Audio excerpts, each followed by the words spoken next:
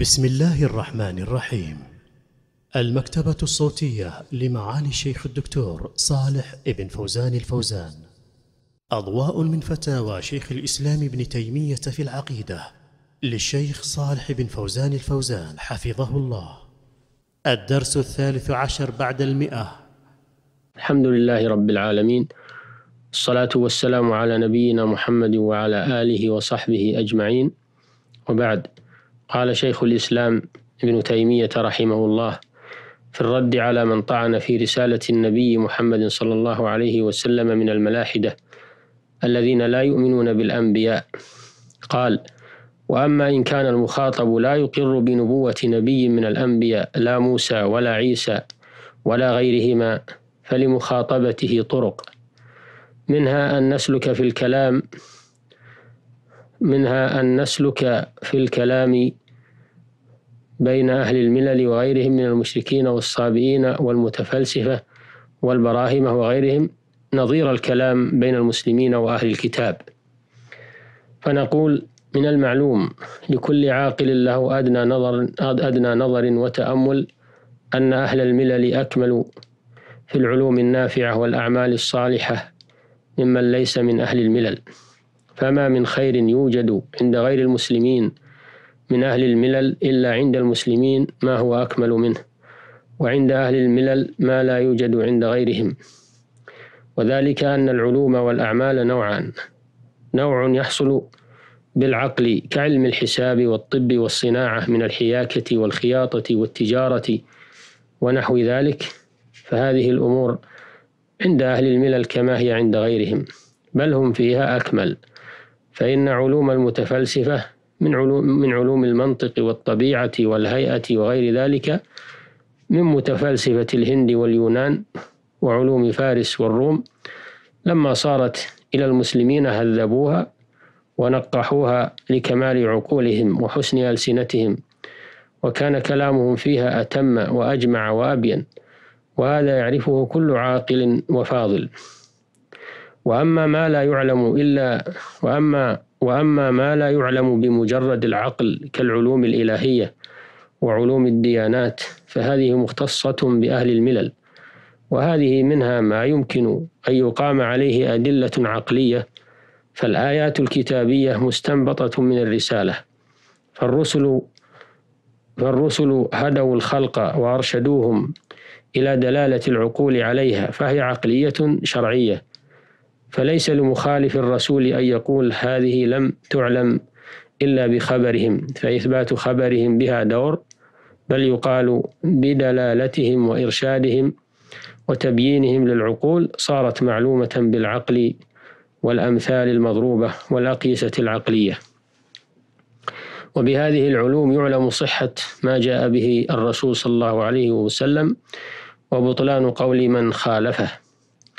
النوع الثاني ما لا يعلم إلا بخبر الرسل وهذا يعلم بوجوه منها اتفاق الرسل على الإخبار به من غير تواطؤ ولا اتفاق بينهم.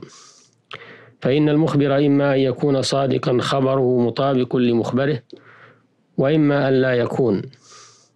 فإذا لم يكن خبره طابقا لمخبره فإما أن يكون متعمدا للكذب وإما أن يكون مخطئا.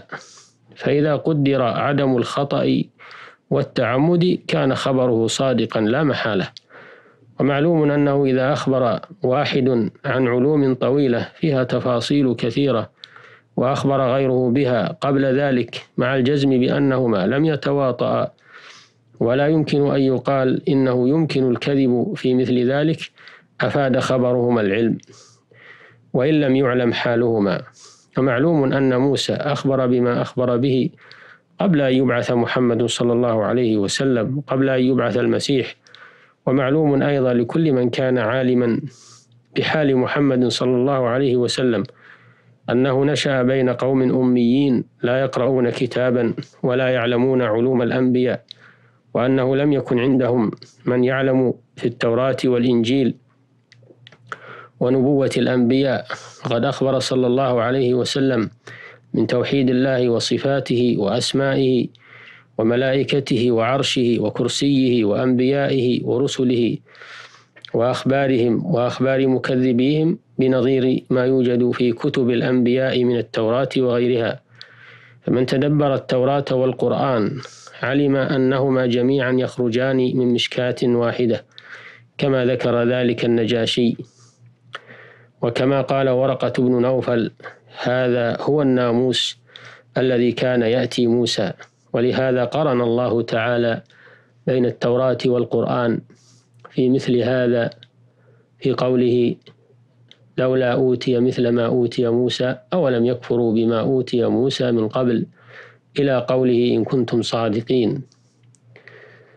وقالت الجن إنا سمعنا كتابا أنزل من بعد موسى مصدقا لما بين يديه الآية.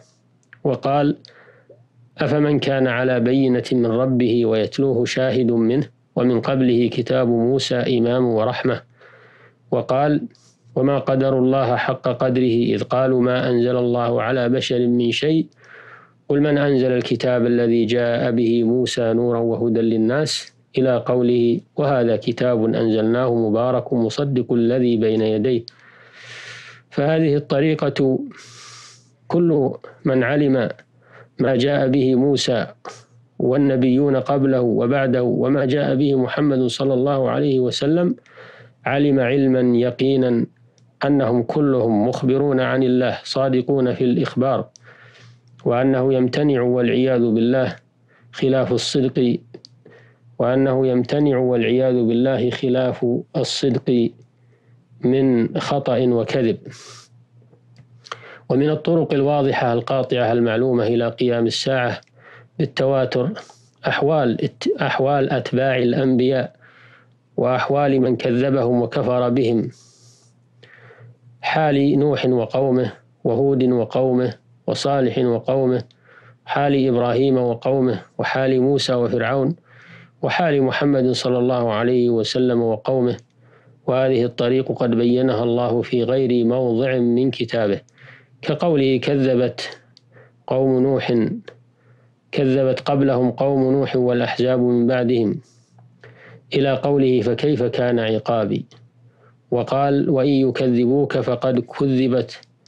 وقال وإن يكذبوك فقد كذبت قبلهم قوم نوح وعاد. وثمود وقوم إبراهيم وقوم لوط وأصحاب مدين وكذب موسى. إلى قوله فكأي من قرية أهلكناها وهي ظالمة إلى قوله أفلم يسيروا في الأرض فتكون لهم قلوب يعقلون بها أو آذان يسمعون بها. وقوله وإنكم لتمرون عليهم مصبحين وبالليل أفلا تعقلون. وقال إن في ذلك لآيات للمتوسمين. فبين أنه تارك آثار المعذبين للمشاهدة ويستدل بذلك على عقوبة الله لهم. قال تعالى وكم أهلكنا من القرون الآيتين فذكر طريقتين يعلم بهما ذلك. إحداهما ما يعاين ويعلم بالقلوب والثاني ما يسمع فإنه قد تواتر عند كل أحد حال الأنبياء ومصدقهم ومكذبهم وعاينوا من آثارهم ما دل على أنه سبحانه عاقب مكذبيهم وانتقم منهم وأنهم كانوا على الحق الذي يحبه ويرضاه وأن من كذبهم كان على الباطل الذي يغضب الله الذي يغضب الله على أهله وأن طاعة الرسل طاعة لله معصيتهم معصية لله. ومن الطرق أيضا ما يعلم من معجزاتهم الباهرة وآياتهم القاهرة وأنه يمتنع أن تكون المعجزة المعجزة على يد مدعي النبوة وهو كذاب من غير تناقض ولا تعارض. ومن الطرق أن الرسل جاءوا من العلوم النافعة والأعمال الصالحة بما هو معلوم عند كل عاقل لبيب ولا ينكره إلا جاهل غاو. فإذا تبين صدقهم وجب التصديق في كل ما أخبروا به ووجب الحكم بالكفر على من آمن ببعض وكفر ببعض. والله سبحانه وتعالى أعلم. صلى الله على محمد وآله وصحبه أجمعين وإلى الحلقة القادمة بإذن الله. والسلام عليكم ورحمة الله وبركاته.